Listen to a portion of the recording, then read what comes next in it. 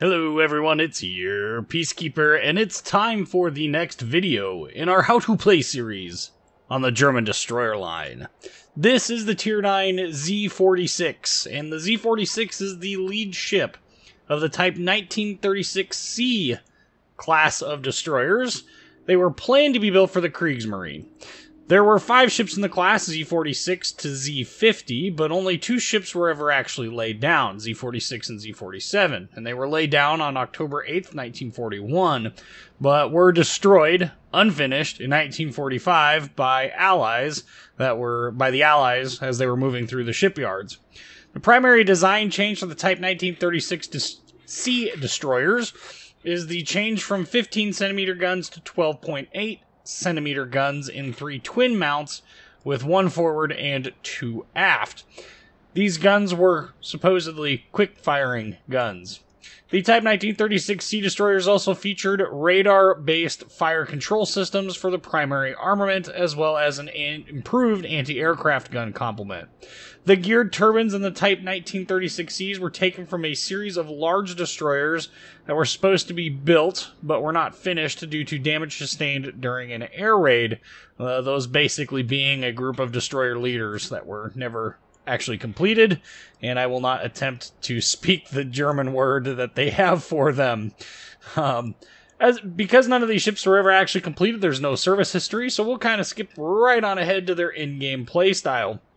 Z46 represents a very strong destroyer that has very good offensive firepower, pretty good maneuverability with good torpedoes. The ship is also very stealthy for a Tier 9 destroyer with a 5.9 kilometer detection range. The addition of Hydro rounds out the strengths of the ship, and it really allows this destroyer to cautiously push caps and punish those who sit in smoke without being able to have their own spotting. In fact, if you're very good with the spotting mechanics in this game, uh, Z46 is very, very strong, and we'll see a little bit of that in the battle video. The AP is also very useful, even on broadside destroyers, but it loses its effectiveness outside of the perfectly broadside profile, thanks to having, you know, a fairly narrow penetration range. And uh, if you're going to shoot at something more heavily armored than a destroyer with that AP, you should probably be aiming at the upper belt area on that ship, and we will see a little bit of that as well in the battle video. The HE has a very low fire chance and feels anemic in terms of its damage. It's not the most damaging 5 inch or 128 millimeter esque uh, gun mounts, but uh, you know, it, it does work at least starting fires, you know, if you run all of the fire flags. Personally, I don't. Um, I don't run like demo expert or anything on my captain, so that's me is not uh, not not something that I rely upon on this ship. Uh, the HE is not nearly as useful against targets as the AP is. However, if a target is angled, your only option is to use HE.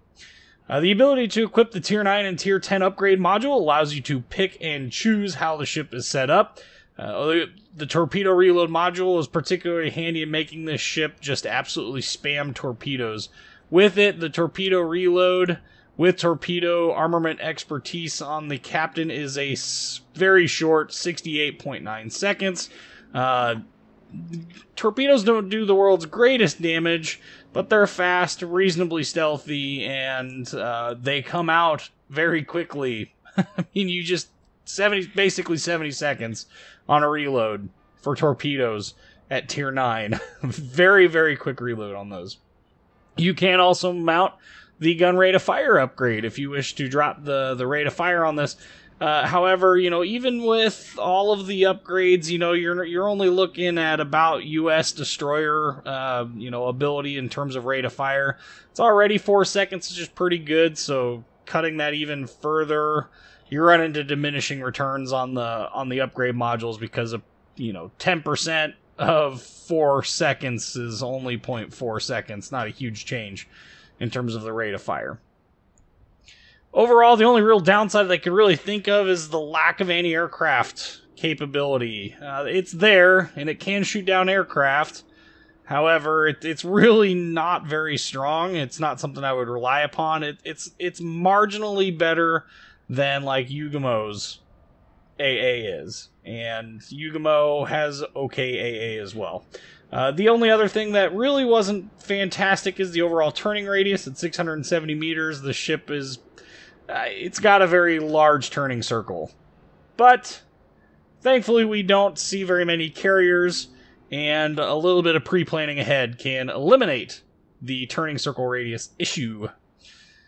Okay, so let's talk about some stats. Uh, this ship has 23,050 hit points. I caution to add that this ship actually, I've actually put on um, survivability expert on this ship.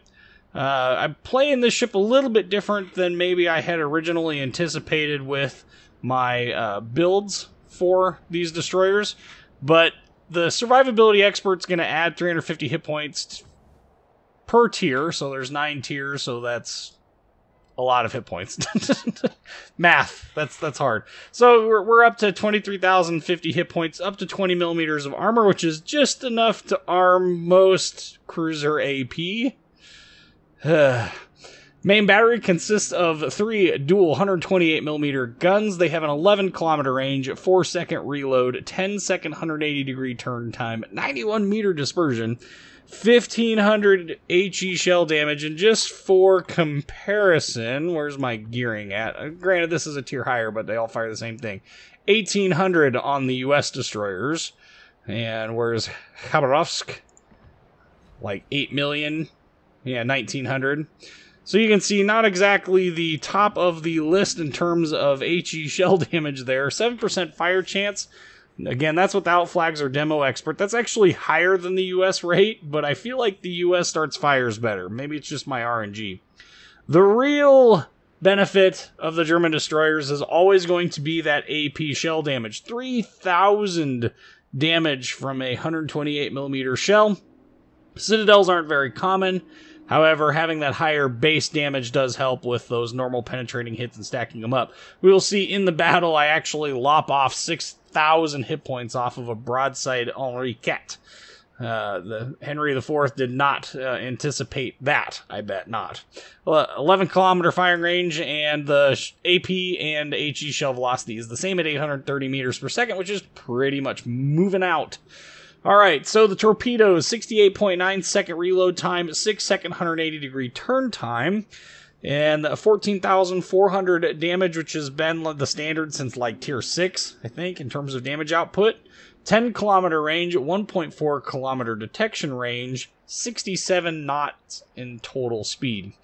Anti aircraft defense, we have three quad 20 millimeter flak Vierlings, a four dual 37 millimeter flaks, and then of course the 128 millimeter dual purpose guns, uh, three dual mounts of that. Now, your AA bubble starts at five kilometers, steps down to three and a half, and then to two. Anybody playing U.S. destroyers recognizes those as being the five-inch gun mounts, the 40 millimeter gun mounts, and the 20 millimeter gun mounts. Unsurprising.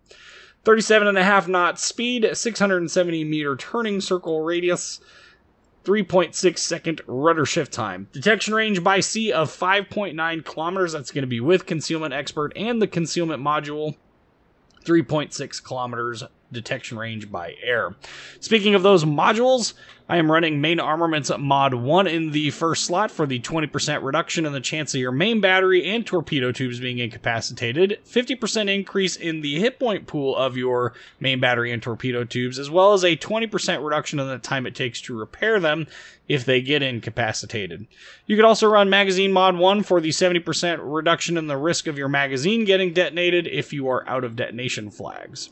In the second slot, I am running propulsion systems mod 1 for the 20% reduction in the chance of your engine being incapacitated, as well as a 20% reduction in the time it takes to repair them. Uh, you could also run steering gears mod 1, which is the same as propulsion mod 1, except for four years. Steering gears just kind of depends on which one you hate losing more. For me, I hate losing my engine more. I, you can always maneuver with last stand, but crawling away at 20 knots with last stand really hurts. So that's why I run that. In the third slot, I am running Aiming Systems Mod 1 for the 7% reduction in the dispersion of my main battery, as well as a 20% increase in the speed at which the torpedo tubes traverse. Um, you could run AA Guns Mod 2, but I really don't think that this is that useful of an upgrade. Um, yeah, I mean, it, you're you're never going to be a U.S. destroyer or high tier Soviet destroyer with defensive fire. So, personally, I wouldn't run AA guns mod two, especially since it's going to only push out your detection range by air. No thanks. Uh, in the fourth slot, steering gears mod 2 is what I choose for the 20% reduction in the rudder shift time.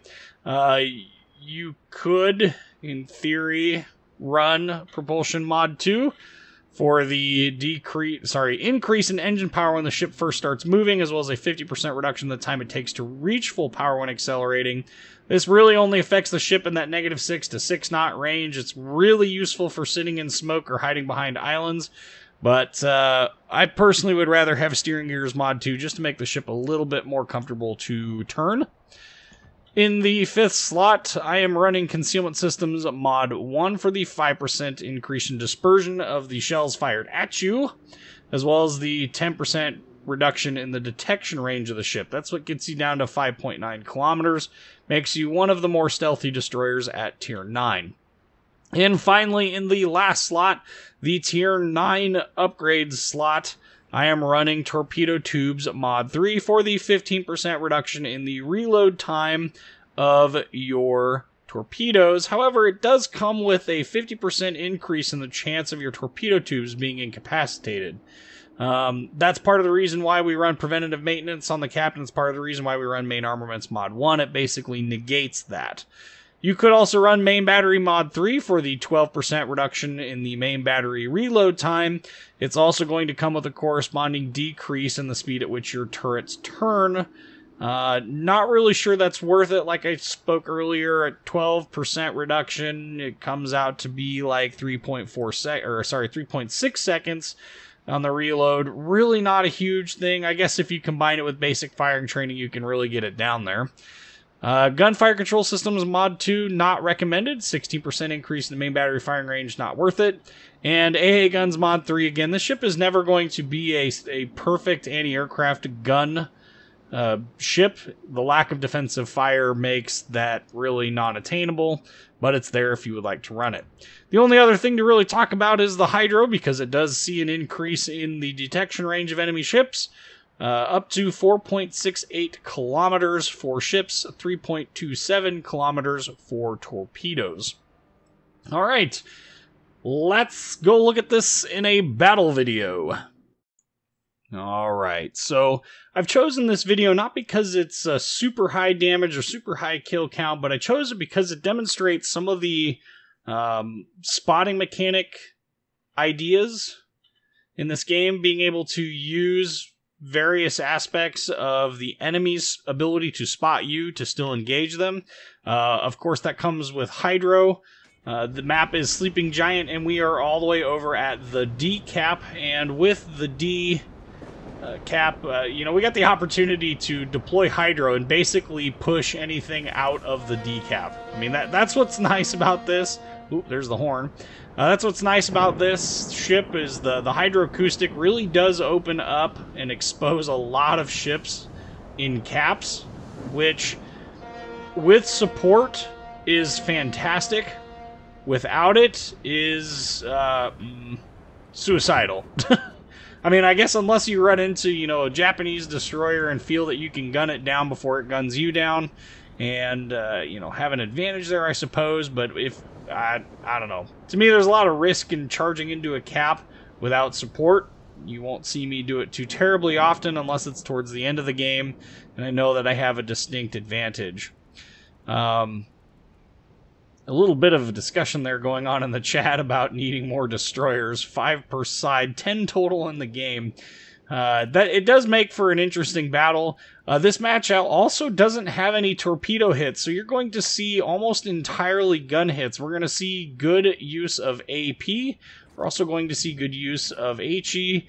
Uh, you are going to see some torpedo play to, um, you know, kind of dissuade people from coming a certain direction and force them into positions they don't like. But unfortunately, we don't have any torpedo hits to talk about. So on this cap, uh, you know, you saw me speed boost right away to get into the cap. Uh, not going to be terribly surprised when that happens, when the, the cap gets, uh, you know, cap or uh, the cap gets blocked like that. But look, Udaloy, quick, everybody shoot at him.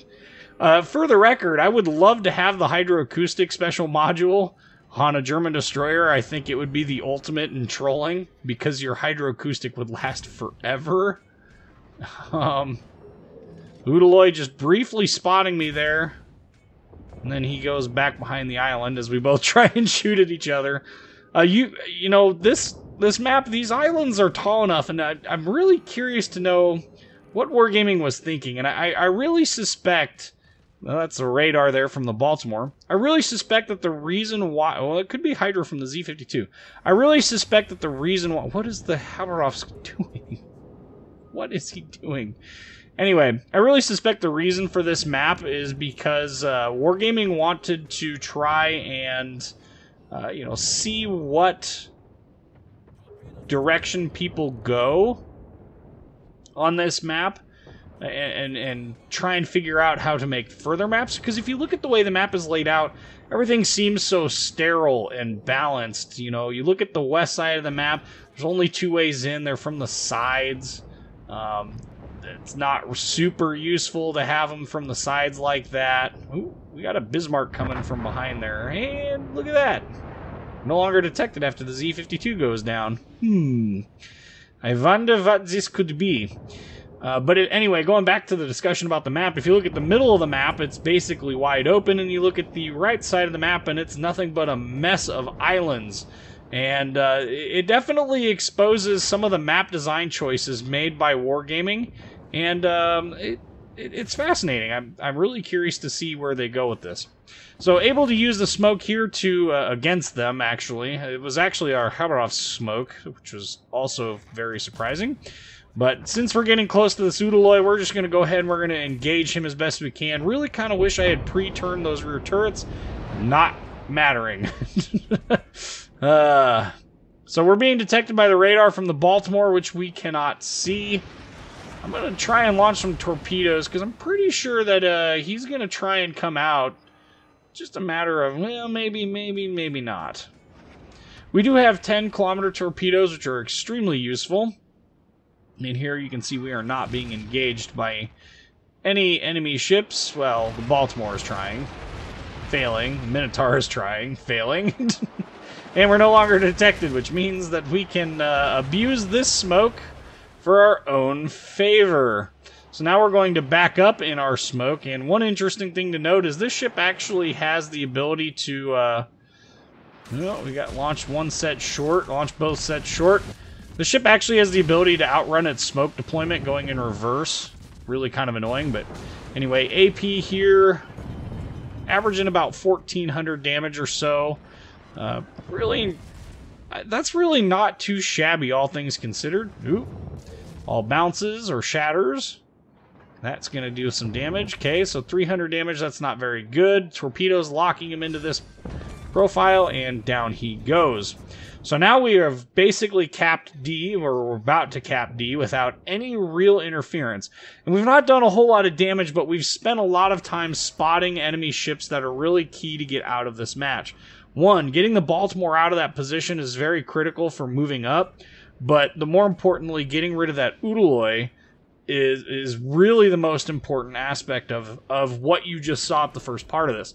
So like I said, this match may not be the highest damage, may not be the highest kill count, may not be 189,000 damage with the Kraken and and you know every other award in there. But there was a lot of key play in this first part that didn't involve us doing really any damage to anything, but just spotting everything using our, you know, almost two minute long hydro to expose enemy ships. Overall, in terms of caps, you know, we're ahead barely on points. We've got two caps, they've got two caps, so it's fairly even in that regard. But what we do know is that there's at least one Shimakaze straight ahead of us. And we know that because of the torpedoes where they came from. Those are Minotaur torps there that we just saw. And now he is being spotted. And so that's going to add yet another element to this match. We've got HE loaded, uh, mostly because wasn't really sure what we would encounter as we come around this corner. Again, rear turrets, uh, keeping those guys engaged is really kind of difficult, it seems. Quick turn to the side there, and again, we're, we're back to using the, the smoke kind of against the the enemy destroyer here, but we've also got our Hydro going to keep him spotted because we are now in range. Plus, it gives advanced warning to the battleships that, hey, look, Shimakaze torpedoes incoming. And the Shimakaze, I think, was more or less interested in trying to get me dead than anything else. So, Shimakaze, 4K, 4.6K, out. We're about to lose him around the edge of the island, so we're going to try and move up a little bit. Some things to keep in mind we got uh, Henri Quatre up ahead, 11 kilometers out. Not a threat at this point, but it looks like he's coming around the edge of the mountain this way. There's a smoke cloud up here, which tells me that there is a destroyer, another destroyer aside from the Shimakaze, whom we just saw get out of his smoke that was ending. And I am still spotting him with my Hydro, so so long as somebody shoots at him, it will be a good day. Henri Quatre making a turn in, launching a, a fairly widespread, all things considered and then we're going to go ahead and deploy our smoke. And HE, first salvo, we get a fire on, Lee, but uh, lose sight of him, so shooting kind of blind. And there he finally shows up again. Not because he's in my Hydro, I don't know why, but you know, 1400 damage, not doing too bad there. 990, you can see not really doing any more additional damage than the H or the AP would. But now he's starting to expose a broadside profile. Now start looking at how quickly his hit point pool starts dropping. There was 6,000 damage right there, all by itself. and the damage just keeps racking up. There's three grand. There's another 2,500 or so. We're just going to follow him around, 2,200. We're, we're just going to keep following. You can see as he starts to angle, the damage numbers start to fall off slightly. Okay, so now we're out out in the open with 3,300 damage, and he's only got 4,200 hit points left, 1,500 hit points left. One salvo, it's all it's going to take. He gets one salvo off, and because Henri has particularly high pen value on those guns, he overpens and does, you know, about 3k damage. There's 1,300 lopped off of a Shimakaze that was kind of angled, and then nothing but bounces the next. I guess we did 990, but... you Anyway, you saw the DPM capabilities of having, you know, that AP was very, very capable of just nuking that already down. I mean, fast. Unbelievably fast. And it was almost like a mini Minotaur with how quickly the the AP damage started to add up. And of course, at this point, you know, the, the match is basically over. We're, we're, capping two caps at the same time, and they've only got one destroyer left down here on this side, one battleship up north, a cruiser, uh, at this point, really not a whole lot left to do, you would think, aside from just cap and move on. Now, Z46, German destroyer, obviously, it's the same destroyer as me. Look at how many hit points he had. Oh, that's the Z52. Look at how many more hit points the Z52 has than I do. I mean, he's nearly full health. And he is, uh, you know, deploying his smoke, trying to. I think he's got his Hydro running, but if it were me and I were in his shoes, I would be running out the back end of that smoke, knowing that there's a Des Moines coming. Not he doesn't know that I'm coming, but uh, you know, it's always a safe assumption. So if I were him, I would be trying to, you know, hide as best as I possibly could. So if I were in his shoes, I'd be running too, trying to stay alive as long as humanly possible. So there's the capture of the C cap. Looks like our northern expeditionary force has kind of fallen apart. That's fine though. It keeps the game going just a little bit longer. We got a Shimakaze up there dealing with the St. Louis Ibuki. Oh no, that's a Minotaur. Apparently, I can't read a mini map. So the Z52 is obviously running uh, radio position, which is fine. Um, a little bit of a victory horn there. And like I said, this match isn't the most high damaging match, and we've still got some damage to do, so fear not. We're not completely done.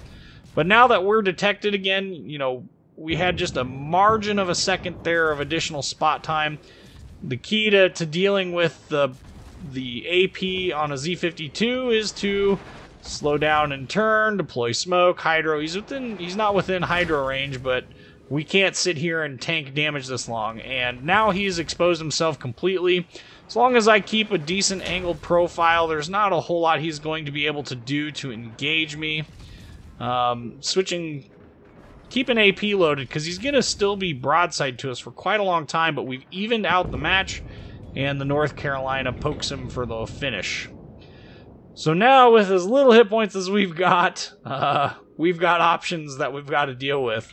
We our whole team has finally uh, managed to turn around and head north. Points wise, we're doing okay. Ship wise, we're doing more than okay. We basically double them, actually more than double them. Up to 65,000 damage using spotting mechanics to our advantage. And in the case of that uh, Z 52 there, once we got him firing at us, it was just a matter of time before something else spot hit, spotted him, and so we were able to slow down, slam on the brakes, deploy smoke, conceal ourselves so he couldn't hit us, and move on. We've got our speed boost back up, so we're going to pop it right away. At this point, I was really trying to decide which direction I was going to go. We've got two different ways that we could go. We could go to the west and try and see if maybe the Montana and Ibuki are going to continue this out. Really need more information about whether or not that's the before we make that choice, whether or not that's the right choice. When we see the Ibuki, we see the Montana now. We see smoke. That means the Minotaur is there as well. So we're going to go ahead and we're going to charge up the middle with the rest of our team. And at this point, the match is definitely over. But things can always change at the last minute. You know, we've been going on for a while. Ships can make mistakes. Montana is nothing to sneeze at, even with an Iowa, a Yamato, uh, North Carolina. I think we got an Alabama hanging around. No, he died. Hindenburg and Des Moines. You know, there are there are definitely ways in which we could still lose this, if if the right level of uh, things happen in the right order. One other nice thing about this ship is with its concealment, so long as we don't get spotted by the Montana, the Ibuki and the Minotaur will pop up in their smoke. Assuming that they survive those torpedoes going in there, which I suspect they probably will. But you never know. So we're going to keep on charging. Like I said, as long as we don't get spotted by the Montana, which is fairly easy because we've got a, you know, 5.9 kilometer detection range, uh, we should be able to spot them before they spot uh, they're able to spot us. And of course both those ships do have access to hydro. However of them i think only the minotaur is probably going to be running it and you can see he is still around. So the ibuki died. Minotaur is still camping in his smoke. Shimakaze is also charging headlong into this. Switching to ap because i know that the there he is. Okay so the minotaur is broadside to us and so take a little bit of a risk here. We are detected by the Montana because we're firing. Minotaur is not looking at us. Look at these damage numbers start to add up, though.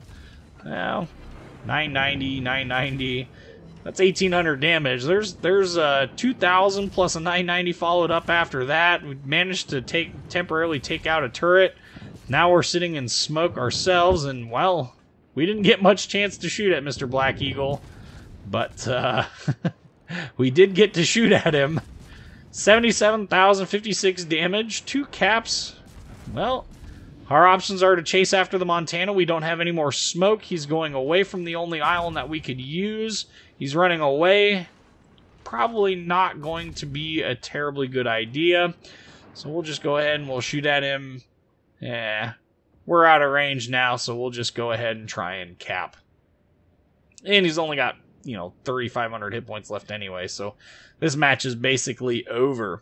So hopefully you guys saw in this match the various different ways in which you can use the hydro you can use other spotting mechanics to kind of engage enemy ships in this. 77056 damage two kills two caps three fire set but we managed to finish on the top of our team. 2235 in base xp uh, almost 400,000 potential damage. I've had better games in in this ship with potential damage, but overall, I, I do like Z46. I almost like it more than Z52. That seems blasphemous, but uh, you know, it, it's just it's a good boat. I like it. Anyway, I'm your peacekeeper. Like, comment, subscribe, and thank you for watching.